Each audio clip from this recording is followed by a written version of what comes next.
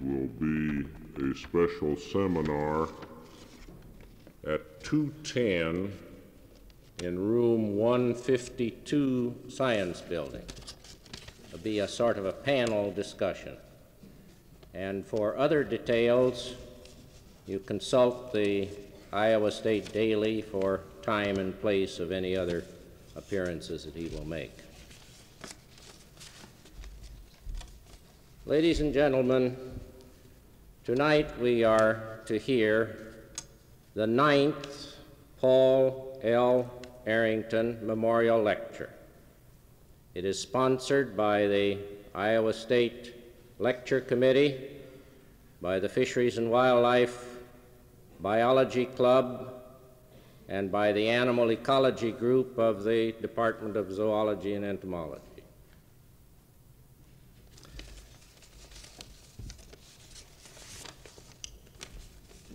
Dr. Errington came to Iowa State in the early 1930s. His studies in animal biology very soon brought him national and international recognition because of the new concepts which he introduced into this type of investigation. He was an ecologist long before that term came into popular use. He was a naturalist in the best sense of the word. He was a voluminous writer. He had many interests, and among these was a concept that wild creatures had built into them certain mechanisms by which they would respond to nervous and physiological stresses. And these responses in some cases, would control population so that the numbers of any wild species would stay in balance with the space and food restrictions of the environment. Now, sometimes these built in mechanisms were rather ruthless and sometimes they would result in rather marked depressions in the population numbers. But this achieved the purpose. And after the numbers had been sufficiently decreased so that the space again become wide enough and the food supply became great enough, then the population could build up again. So that we had cyclical phenomena about which he wrote in several cases. Now, even before man's present population crunch became critical, Paul Errington had referred to this possibility in several of his writings. He pointed out that this could eventually become a problem for man. I knew Dr. Errington as a colleague from the time he came to Iowa State. In recent years, I've wondered what his thoughts might be in comparing the behavior of his wild, dumb creatures in controlling their population problems with man's present attempts, such as abortion and vasectomy, and intentional hormonal dysfunctions, and by the use of various mechanical devices. Knowing Paul rather well, I think it would be rather intriguing and extremely interesting to know what his thoughts about this might be. The wild creatures were able to do it with their innate abilities, whereas man's attempts have been somewhat uncertain, so far at least, in spite of his wisdom and perhaps his misplaced compassion. Our speaker tonight is a well known playwright, novelist, lecturer, motion picture script writer, and I suspect in some ways one could say he was also involved in rather sharp, critical scientific investigations.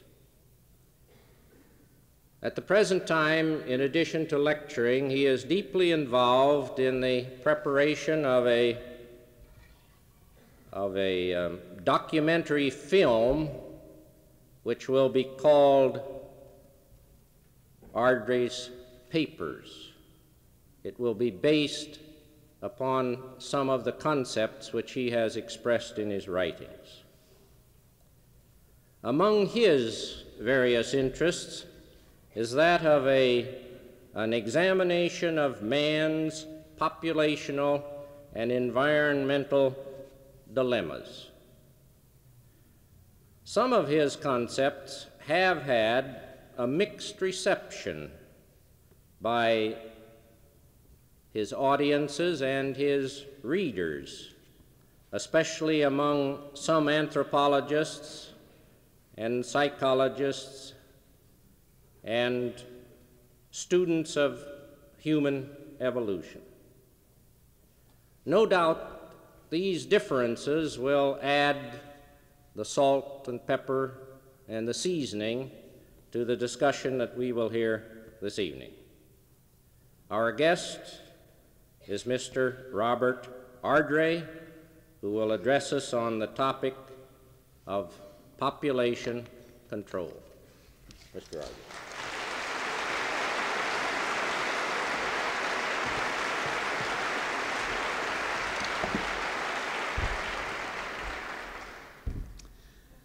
Ladies and gentlemen, I almost left because you were just about giving my lecture.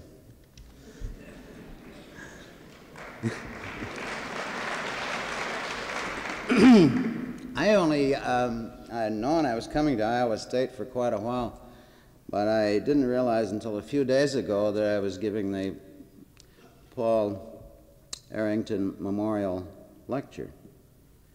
And uh, I received the information with a mixture of intense pleasure and a certain embarrassment. Um, Errington was one of the first authorities I ever got mixed up with when I was writing African Genesis because there was so little on the literature of predatory behavior, and I was interested in the predatory be behavior of uh, pre man, of the Australopithecines the small brain hominids. So in reviewing that lecture, I, uh, that material, I came, of course, on a paper he'd done back in the 40s on the unfriendly relations of mink and muskrats. And I was immensely impressed with it. I was so impressed with it, for the one time in my career, I misquoted the reference in the uh, bibliography and got him into the wrong journal, the right year, the right page number, but whether it was supposed to be the Quarterly Journal of biology or another one, I forget now. I got it wrong. It's the only time I did it. So I felt that in coming to Ames, I could at least apologize in the right place for having gotten it messed up.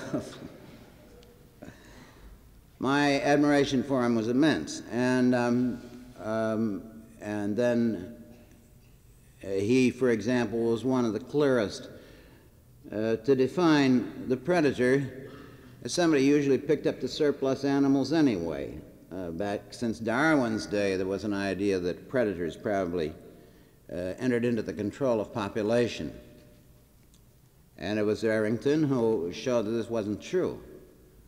Many others have seen it too. Fraser Darling and Red Deer, for example, and Mowat with the caribou and wolf. But uh, Errington was the first that I happened to run into who had seen this important thing.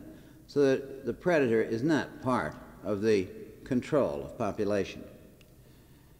Um, later on in the 50s, I think he wrote that paper in the 40s, in the 50s, his attention was really turned to population control, and um, that's where I really started stealing from him, as you'll get in the social contract.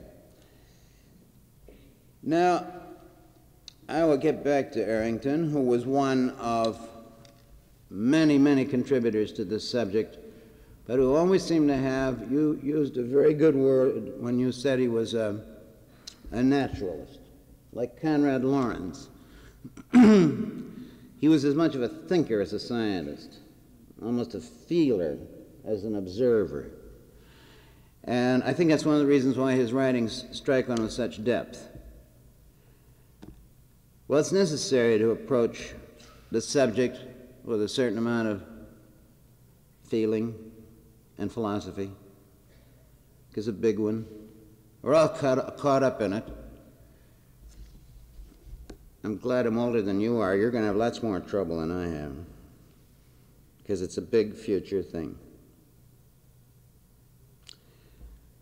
Now, of course, this thing that interested Paul Errington, which was the self regulation of animal numbers, is today probably as well a documented uh, uh, conclusion of the new biology as anything you can find. Malthus, I don't suppose Malthus was entirely wrong, but he was mostly wrong. And it was Malthus' idea of population that, that numbers would increase until, uh, uh, geometrically, until they hit the ceiling of food supply, which increased only arithmetically. With this doctrine of Malthus, which has haunted us ever since, and which I, leads, I believe, to a great deal of the real pessimism about the future of population, our own human population. In other words, if we're going to have um, 30 billion of us someday standing on each other's shoulders, it's pretty depressing. Uh, on the other hand, it's not likely to happen because long before we ever reach that limit of food supply, you really needn't worry. We'll have died of so many other causes. There just won't be that many of us. Animals regulate their own numbers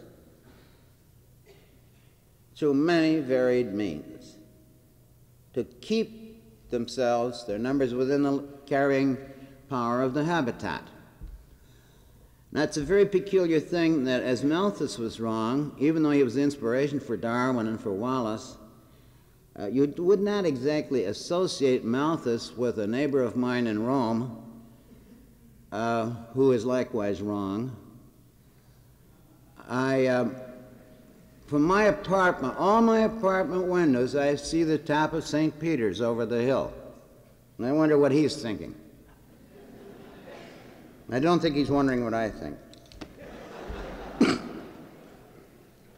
anyway, they're both wrong. And for different reasons, Malthus for his reason, that animals, or not, I suppose it must happen in some cases, and you have cli climate catastrophes, which limit numbers. But in the natural way of species, it doesn't happen. In fact, Unrestricted breeding is what violates natural law. Natural law is a restriction of your own numbers. And when Pius VI said that contraception was in violation of natural law, let us say that he was badly advised.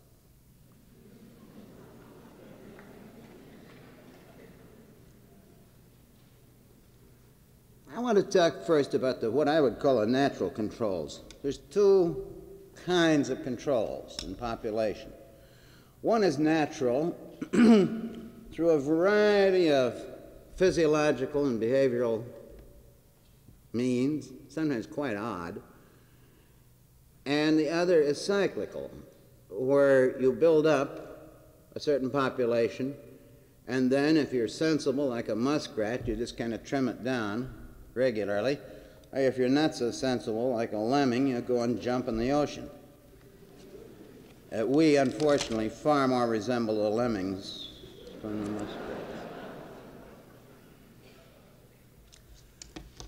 let me get at a few species that do it sensibly. Um, it'd be somewhat of a mixed metaphor to say that elephants have us all buffaloed. but they certainly do.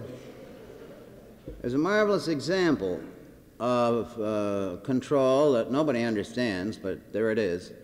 In northwestern Uganda, the, where the, the Nile goes over the Murchison Falls, uh, below the Nile, what's known as the Albert Nile, is very wide. It's about one third water, one third crocodiles, and one third hippos. I find it very unpleasant.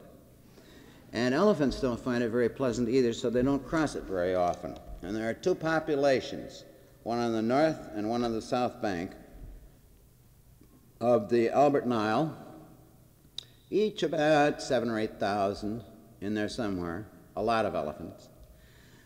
But the southern side has been much more crowded, uh, particularly since independence and the spread of agricultural land into the area, which restricts the elephants more and more uh, in their uh, living room. Now, uh, there's still plenty to eat. But here you have the two populations of about the same size, one on the north bank with ample space, one on the south bank with less space all the time. A man named Richard Laws, from an ecologist from Cambridge University, who studied it very carefully.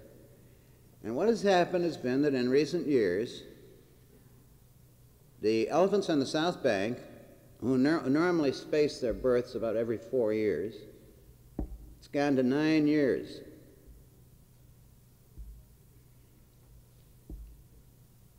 So you get a baby, a lot, few, uh, a lot fewer babies. This thing called menarche, the, when the female is capable of pregnancy, which is normally 11 years, has gone up to 18. Nobody has an idea how they've done it. It's that they've done it.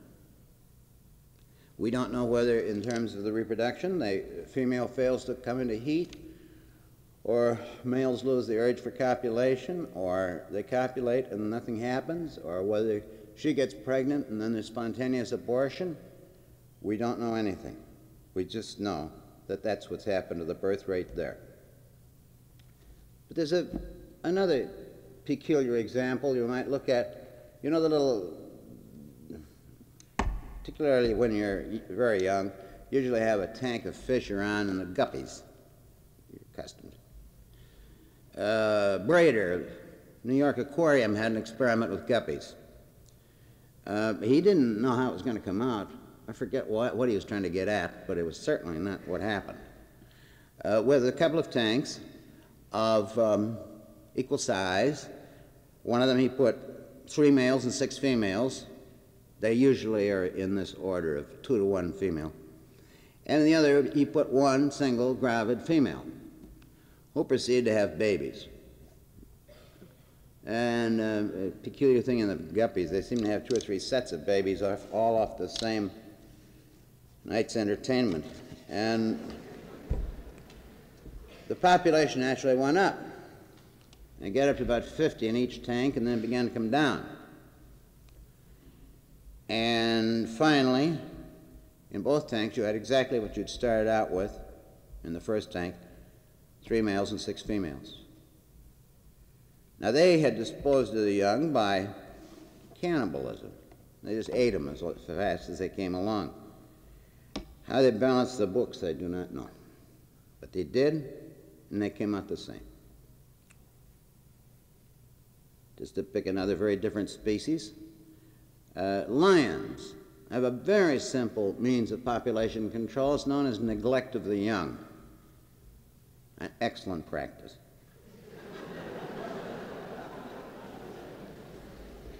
the neglect of the young in a lion pride is accomplished very simply. Um, first place, the females, as you probably know, the lionesses do all the work, all the killing, and then the males just sort of sit around and yawn, and when they've got the thing killed, they go up and the females move off and the males eat. Another excellent practice. the cubs don't get anything. If a cub tries to get into the chow line too soon, he'll probably get killed by, his, by the adults. Anyway, this is neglect because in those seasons when you have small animals, there isn't usually much left by the time the adults get done, and you have 50% mortality in young lions in the first year. Well, there's a very interesting reason. Once you get a lion up to a couple of years old, it'll probably go on to 13, 15 years. He's got, nobody can kill him, and he's not much susceptible to disease. So if you're going to balance your population, you got to do it early. This is uh, one of those kind of unpleasant means we were speaking of, but it works. Uh, this is a, in very great contrast to the African hunting dog, who uh, the adults are terribly uh, susceptible to disease, and so the care they take of their young is spectacular. I have watched on a kill where uh, the adults were hungry, there were about 14 half grown pups. The adults each took one bite out of a 100 pound warthog, stepped back. George Schaller and I watched this for an hour and a half till it got dark, and the adults never took another bite. They left it to the young. Bad practice. Um, another uh, system of, uh, of population control, which is very uh, prevalent in the world, is through the exclusive control of a territory the breeding group or pair uh, will control an exclusive piece of space, which automatically limits the number of breeders in any given habitat. Uh, this was first, well, Eliot Howard was the uh, discoverer or establisher of the principle of territory, which I described in the territorial imperative. And um, he did it through observation of many, many species of birds like lapwing, warblers, chaffinch, all sorts, in uh, Worcestershire in England. Now, however, earlier, an Irishman named Moffat, an Irish ornithologist, had anticipated it very nicely and had seen that this was a, a form of birth control or a form of po- population control which uh, didn't impress Howard quite as much. And Moffat was right, because it's certainly one of the greatest functions of territory. And distributing your population in such fashion that at least the breeding population is going to have enough to eat. Now, it's true there's some that are left over that don't do very well. Errington described some of them and the muskrats who were not uh, successful in having territories and breeding. And it was these that the minks dined off so regularly. And that's the reason that the minks didn't have much effect on the, on the basic population. They were hitting the surplus anyway. Now, the essence, the territorial principle has many ramifications, but one essence is that the female is unresponsive to a male lacking real estate.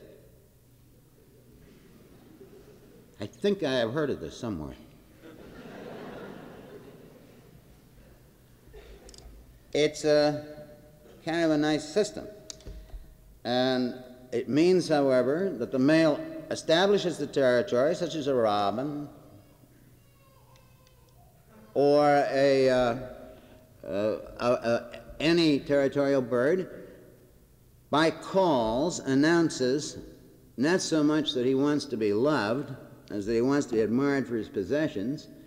The female hears the announcement that there's real estate available and comes and joins him. So there they are.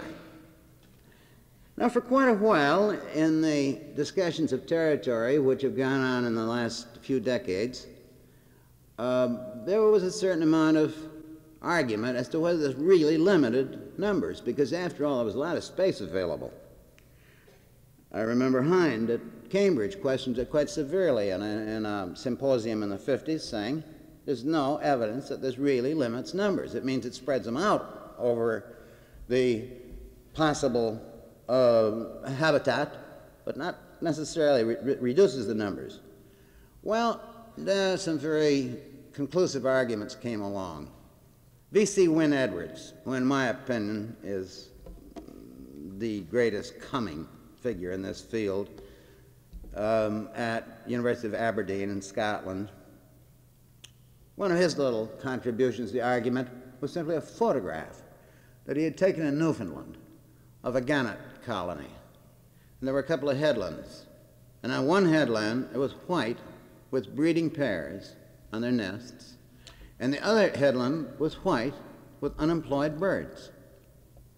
And the thing is that if they couldn't get a territory in the breeding colony, they couldn't breed. In other words, it wasn't just real estate. Some real estate had sexual value and some did not. And this is quite general in bird colonies. So numbers are reduced. Um, um, associate of his at Aberdeen, Adam Watson, did an excellent uh, thing with red grouse. He had to murder a lot of red grouse, but he, there was an area where they had their uh, territories and they were breeding. And um, uh, he labeled all the birds in the neighborhood. He was trying to establish that there were more birds than there were breeders. So then he, he collected, as they say, all the um, proprietors and within something like 10 days, every territory had a new proprietor. And they were birds from the vicinity. They just had not been able to breed till they got the territories. Still another was in Australia, uh, Carrick. David Carrick's experiment with magpies. The Australian magpie comes in profuse numbers. And uh, I've never seen them myself, but I understand they're quite a miserable bird to be around. Um, but they, you, apparently people don't have to limit their, reduce the misery of having them around. The magpies do it themselves.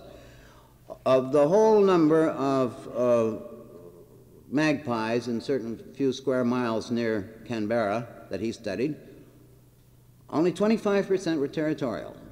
They got together in groups, defended their territory as a group, and they bred. The rest of them made faint-hearted efforts off in the bushes and things like that, or just stayed in uh, flocks out in the fields, never bred. Tried once in a while, never successful. Well, now he then came now to close in a little bit on the physiology. And at last, somebody found a reason why, because all these things I'm talking about, nobody's ever understood why. He found, since I'm not entirely why, that uh,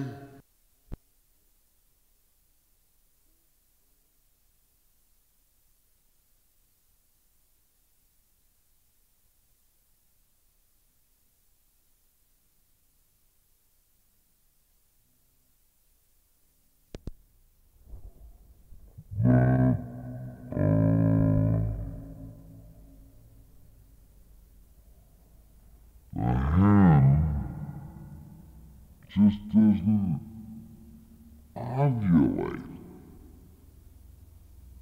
unless she's on a territory. And now you begin to move towards a thing of stress.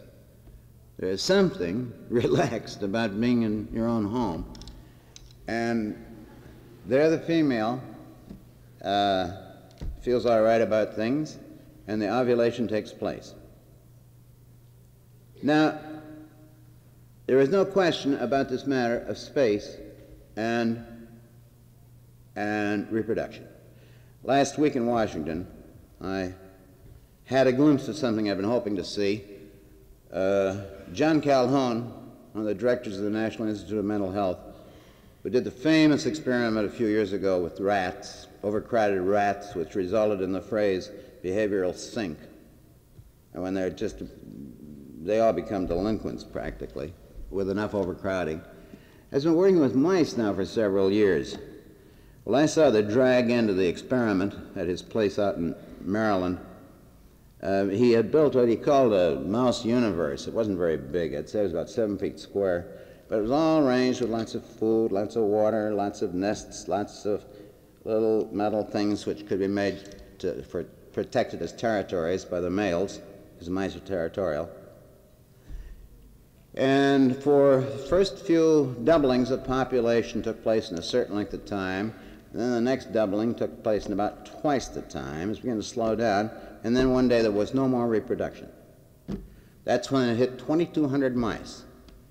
It must have been something for Dante to think about what that thing looked like with 2,200 mice in it. When I saw it, there was only 900. That was pretty bad. But there aren't going to be any more mice. These aren't mice anymore. They're going to mice habits, mice behavior. They eat, drink, groom themselves, and that's all. And there's none there today that is less than 17 months old because 17 months ago all reproduction stopped, and these will never start again. So, in another six months, that will be the end of Calhoun's mouse universe. Something to think about. Too many people. Now, the question is there's a mystery about this thing that I mentioned. How does it work? Well, I guess the answer to it came about through the work of a man named Bruce in Britain. It's known as the Bruce effect, where he discovered the fem- uh, you see, the female mouse normally sees no one but the, the overlord, her alpha. the harem of females with one male. Now she's impregnated, and then she sees a strange male within four days, she spontaneously aborts. As she smells the presence of where a strange male has been in the area. I think the chances are 50 50 that she aborts. Now, here's pure overcrowding. If there's too many males around, and there's too many mice around, and the female's answer is to abort. Maybe that's what the elephants do, we don't know. Now, this one has been traced down very carefully because everybody was so dumbfounded by it, they began reproducing the experiment with wild mice. He had used uh, laboratory strains. They tried it on voles, which are induced breeders, uh, uh, ovulators, uh, who ovulate only after copulation instead of before. Same thing every time, and it's now well understood that it is odor, that there is odor, and the strange odor uh, has a hormonal effect that simply releases the egg in the uterus. We're beginning to understand a little bit about this.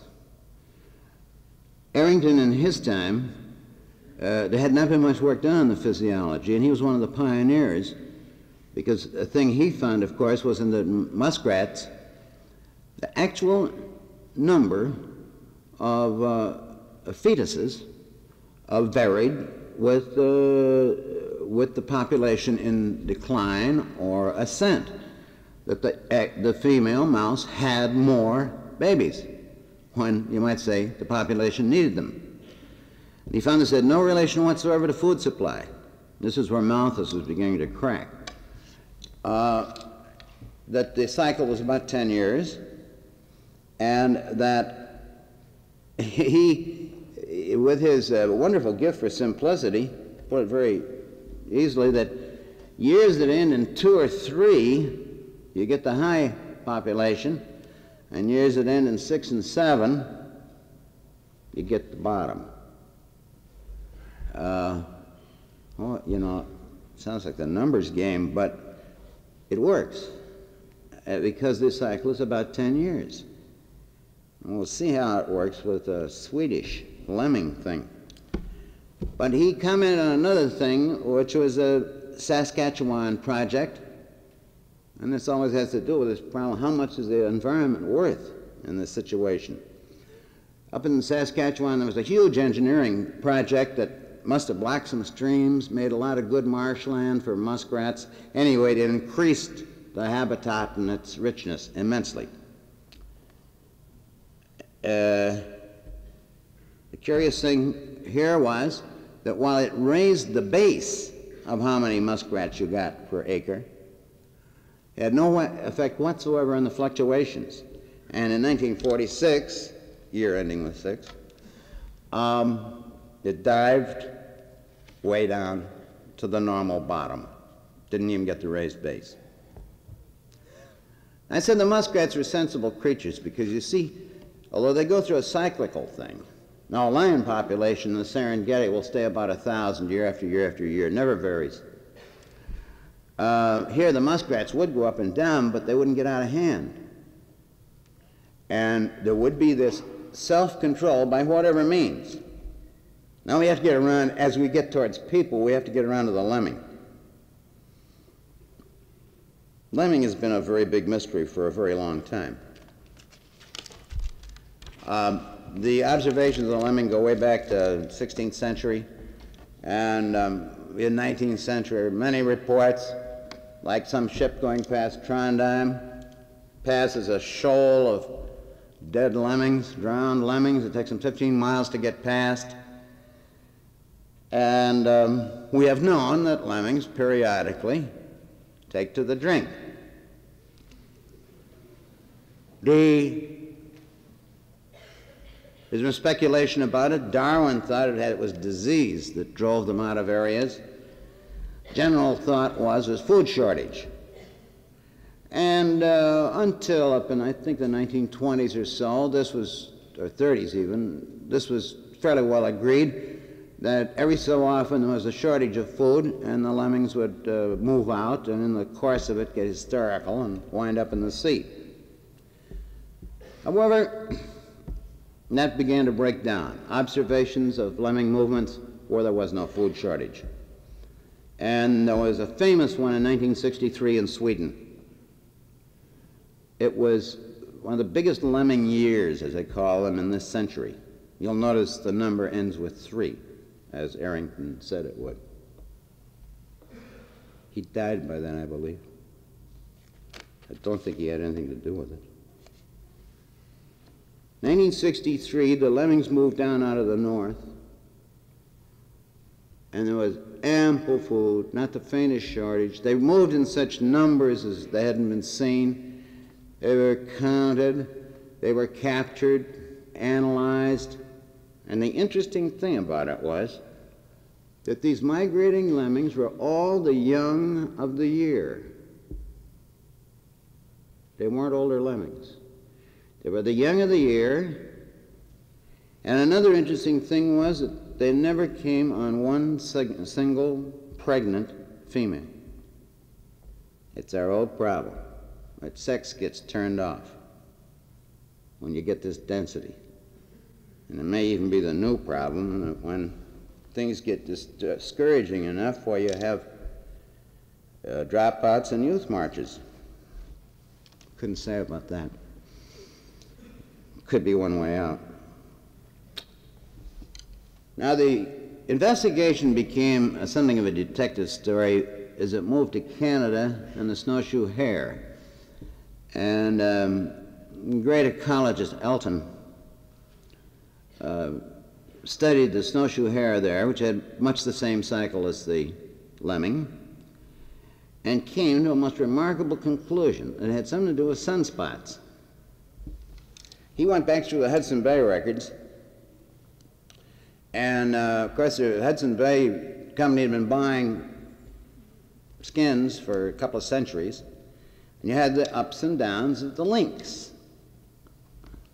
Well, the lynx lives off rabbits, and the lynx, the more the rabbits, the more the lynx, and so they go down. Well, in, over the 200 years, you found these, these cycles of about 10 years, and, uh, and also rab enough rabbit pelts to confirm it that in Elton's view, this was associated somehow or other with the sunspot cycle and variations of weather and food supply in the very marginal north. Uh, this, incidentally, Errington never went for it. But um, man named MacLulich, who was quite ruthless about such things, went into it a little more carefully and found that in that same period there had been 18 lynx cycles and 15 and a half sunspot cycles, so it didn't quite come out. And that was the end of the sunspots. I, I don't think, incidentally, anybody really has an answer on this yet. But you can see that opinion was turning more and more to the problem of density and stress. Populations got bigger, stress got greater, and something happened to, the physiology. J.J. Um, Christian came up with a very good answer, very interesting answer. He's a very fine scientist. But the answer strikes one as a little romantic. Uh, he decided that the, the, the, snowshoe hares, as they build up their population, uh, have just too much contact. There's too much strain on the nerves in meeting fresh hares that you haven't seen before, and the goings and the comings and all the encounters of one sort or another, and until you finally get to the critical winter, you get through it somehow, you're worn out, and the March hare, incidentally, is from Alice in Wonderland, is no joke because they die at that time in the spring. And Christian says, well, they die when at the end of their rope they got to go out and make love. That's a very peculiar answer, but of course it could be. This could be the straw that broke the snowshoe hare's back. Well, we really don't know the answer. It's just one of those marvelous mystery stories that makes biology so much fun. But the stress of numbers has a great deal to do with it. And you also now find studies, uh, such as have been made in Australia, of the rabbit down there, And what you find that the higher, rank, uh, the, the, the higher ranking female rabbits, under stress of numbers, lose many fewer of their young than the lower ranking. The alpha seems to be better equipped.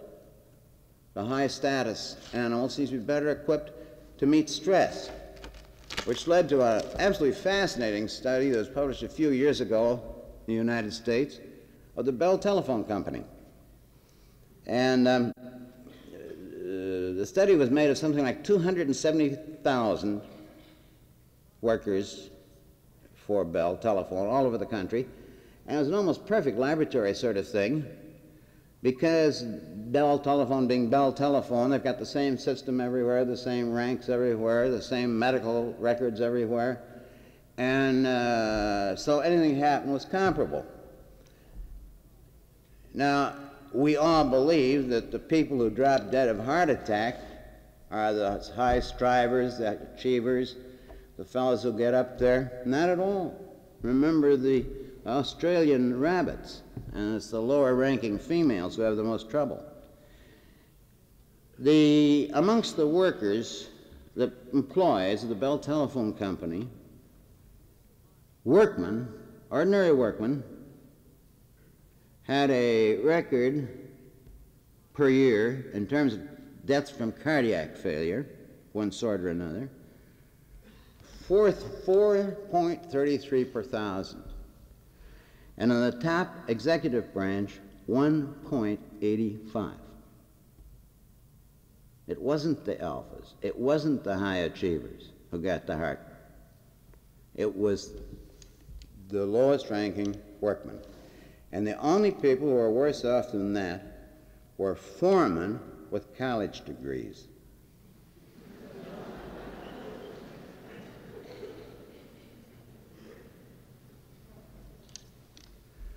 Well, all right, so you get down the problem of man thoroughly. You face this thing that stress is a tremendously limiting factor on population. And you see also what has happened. Somewhere in the expansion of the big brain, one thing or another, whatever were the physiological or behavioral limitations had, we once had, we've lost them. But for this, we have a cultural substitute known as contraception or abortion. In other words, you can take a rather inhumane answer to the population problem, such as the death by stress that you get in the lemming or the snowshoe hare or many rodents. You can take the rather rugged systems of natural control, like the lion neglecting the young, or you can have the totally humane system of contraception a biological substitute, a, a cultural substitute for a biological command. Well, this is the humane way. I do offer an alternative, though. If we're not going to do it with contraception, in fact, we're not going to control our numbers at all, they'll get controlled. They'll get controlled as in every other species, but it's going to be messy. One of the things, for example, that we're going to have to start being for is automobile accidents. You see, it's very important to eliminate the breeding group, the young people. And automobile accidents hit the young much harder than older people, and, uh, and automobile accidents will do a marvelous job of, of bringing down the numbers of the breeding population. I'm not part of that breeding population, so we won't worry about me. We have to be for suicide. I'm telling you the things that we'll have to be for if we're not for, for contraception. We got to be for suicide, particularly student suicide. We must discourage students to a point where they will commit suicide and not have children. Another thing that is absolutely great is women's lib. People ask me what I think of women's lib, and I say, well, I don't know what's going to happen to the women, but it's absolutely marvelous in terms of population control. If a woman would rather go to an office, and why she would rather go to an office, I haven't a clue. Or she must go to an office and not have children, hooray for her. Homosexuality. We have to have far more homosexuality. You take, we only have 4% of Americans really dedicated homosexuals. If we can't get that up to 8%, I don't think we're true blue Americans.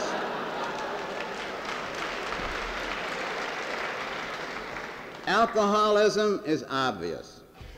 Drink more. It, it undermines the copulating instinct. And pornography is likewise good because the more we have voyeurism and the less we have actual sexual relations, this can't help but uh, uh, do us a bit uh, on the population control. But I want to one thing out, and that is something I'm not for. I'm not for war because you kill the men. What's the good? Let's have war between women, that's something different. We'll kill the breeders.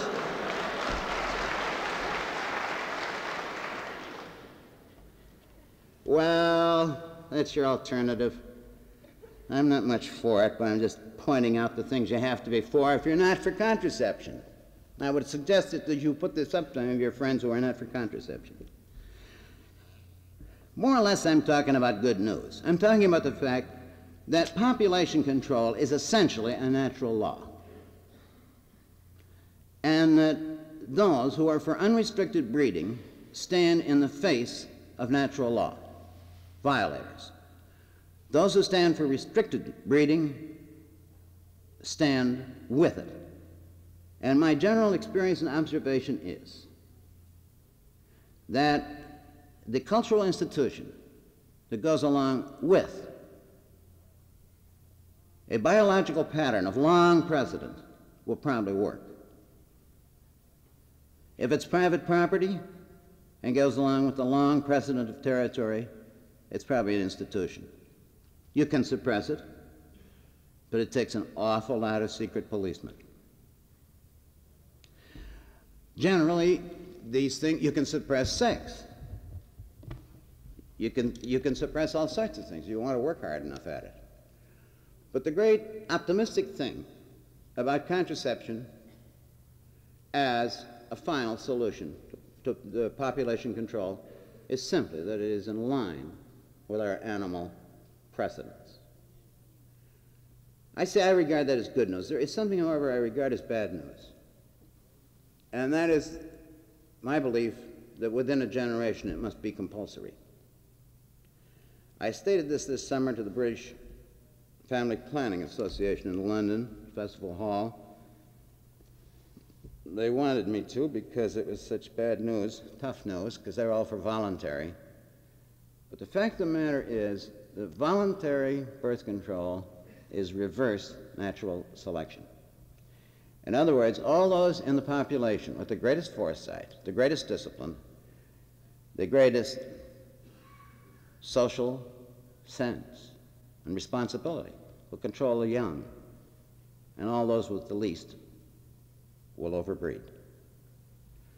You have even such things as the defect, mentally defective, which in a normal population, human beings, I, rhesus monkeys or chimps or anything, I suppose it's about the same, it's about 3%, about 40, 75% of which are genetic.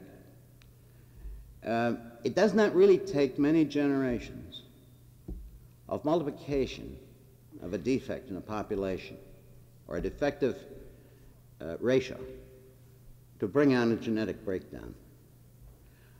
Uh, you see, if you didn't have any birth control at all, the random figures would sort of take care of themselves. But voluntary birth control implies a discriminatory ratio in breeding. It is, in my opinion, impossible. Uh, you take the problem of equality of opportunity, which is the thing we need so badly. There is nothing that suppresses it so much as too many. This frequently, frequently happens in an ethnic group. If in any ethnic group which has a very high number of children in the family, it were compelled, like everybody else, to stay to two, I think their equality of opportunity would be immediately established. What is swamped, what is always swamped, is the opportunity of the individual in the ambiguity of numbers. We have another point to consider, too.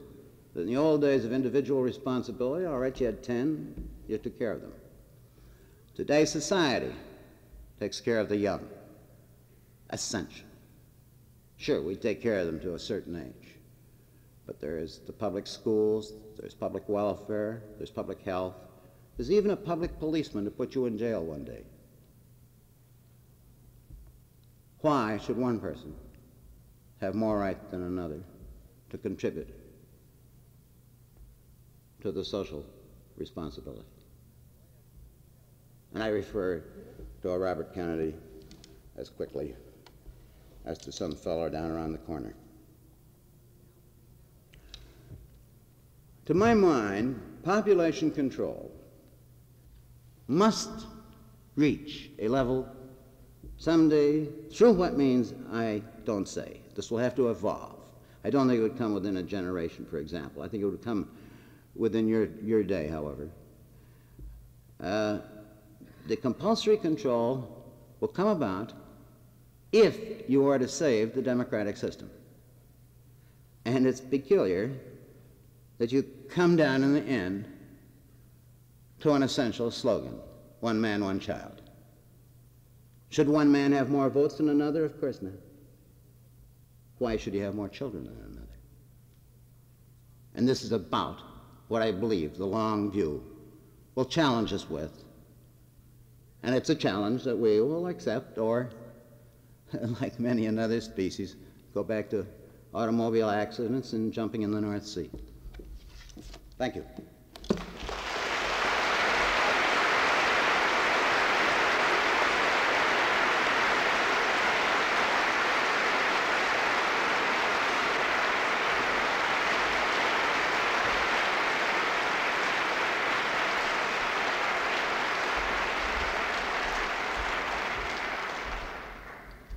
You've had your salt, your pepper, and your seasoning for your life. Mr. Ardrey has consented to answer questions from the audience. We know that he will be able to hear those who ask questions, but those in the audience will not be able to hear the questioner. So he will repeat the question before he answers. Are there questions? Well, you better shout, friends, if you're out in the back.